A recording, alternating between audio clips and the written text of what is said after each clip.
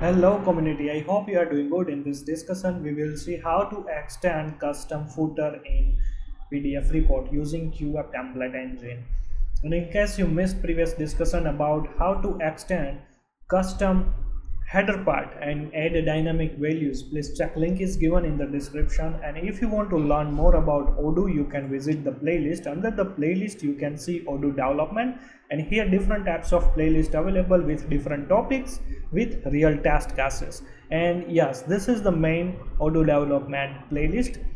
Odoo related topics will cover in this playlist also. And in case you need any support related odoo you can visit the about page. Under the about page you can send your query to this email address. And source code also available in the github. We have also different social media pages. Make sure you can also follow. And please subscribe this channel. And if you want to support this channel using many ways buy me coffee paypal or using this join button. So let's back to our main topic like how you can extend your footer with dynamic values right? So first thing is we are going to here in the student profile in the list view. Let me open this first record and I will try to print this report.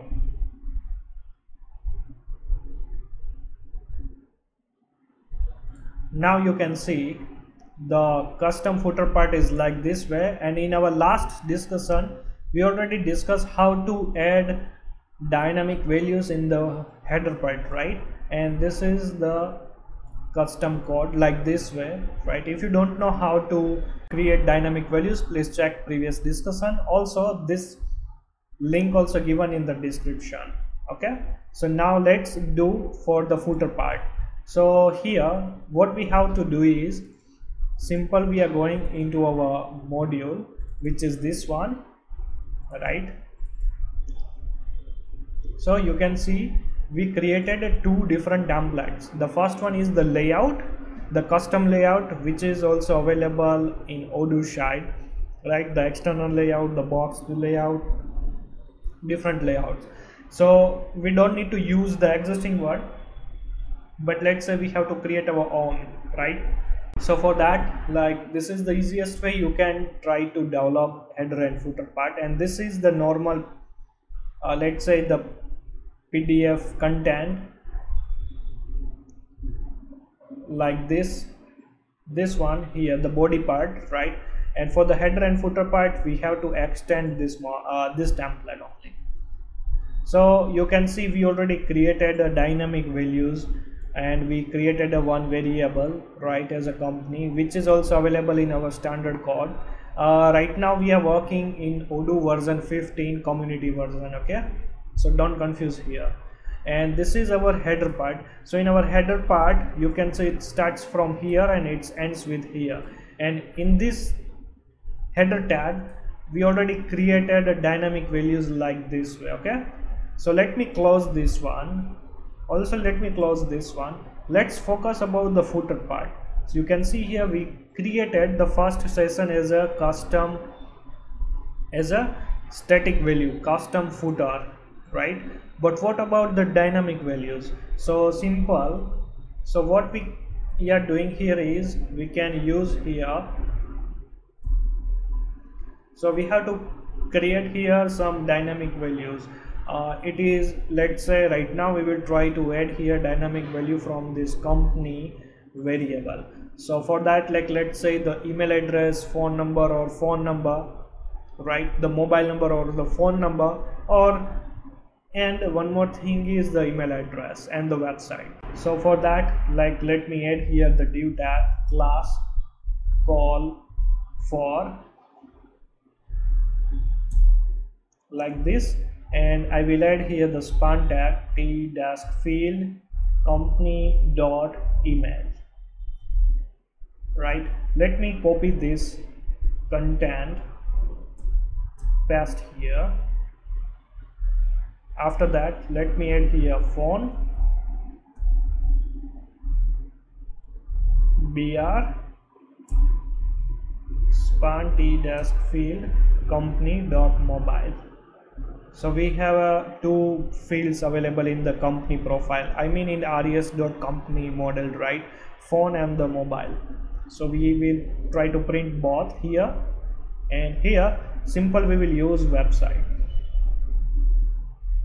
alright and simple you can see we using call for so it will divide based on the pdf content. So we are using the bootstrap classes right this one and simple i will use here row and text should be center. Now i will try to upgrade this module. So for that like i'm going to here minus u i will paste here the module name. I will stop this service and start the service with upgrade the module. If you don't know how to configure like this way please check editor level playlist already explained how you can configure odoo in pycharm. Now i will go to here in the first student profile page and I will try to reprint the report.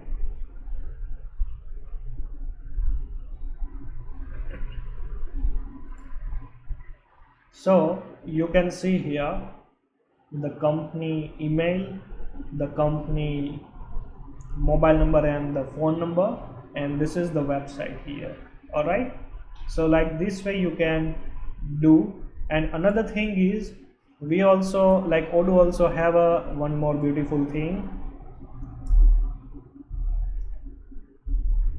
which is available as a uh, let's say the html feed field right? In res.company also have a one more field which is report underscore footer variable in html format.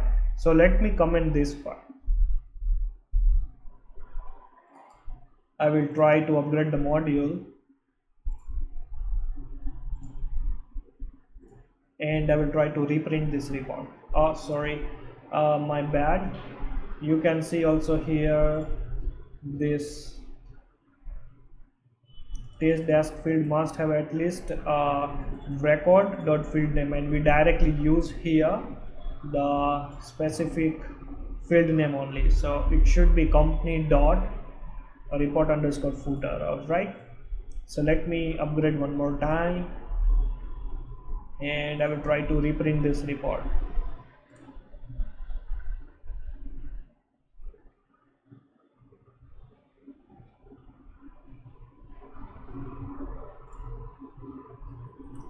so you can see it it will also print like this right? The phone number email and the website. So you can see here it's print in the left side right? So here we need to also provide a style.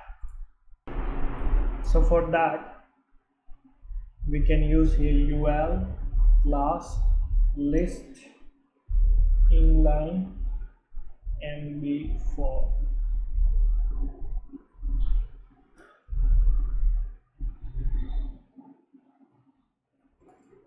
let me upgrade the module. And I will reprint this report.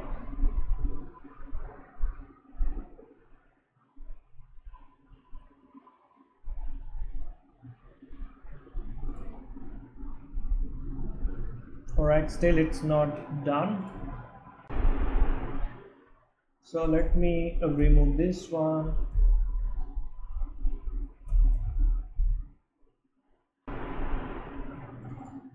and I will try to upgrade the module.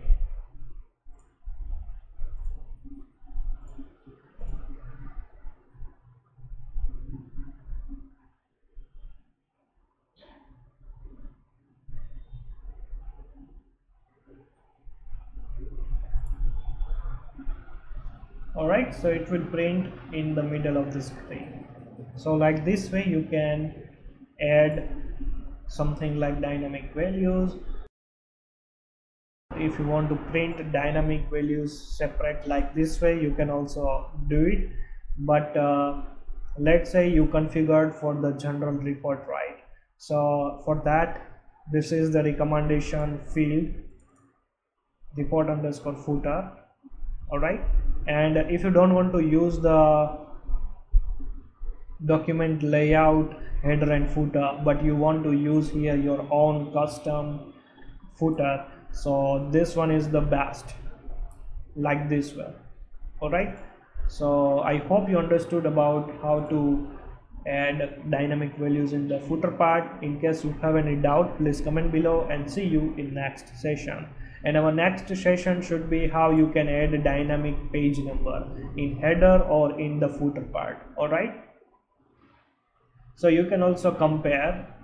First time we had the static value here custom footer right after that we created our own different fields in different layout right? Using the call call desk for each. This is the call desk for this is the call desk for and this is the call desk for. So total should be called 12 and it will divide into the specific screen here in the layout and it will display like this. And we also applied let's say the text should be center so it will display look like this. After that we use the dynamic footer part right if you remember. We also done we also done one mistake which is the class in the class main class we use the row. So first thing is we need to remove that row and it will automatically adjust in the center part. All right so this is the main overview of the custom footer part and the dynamic value. And in case you have any doubt related this topic please comment below and see you in next session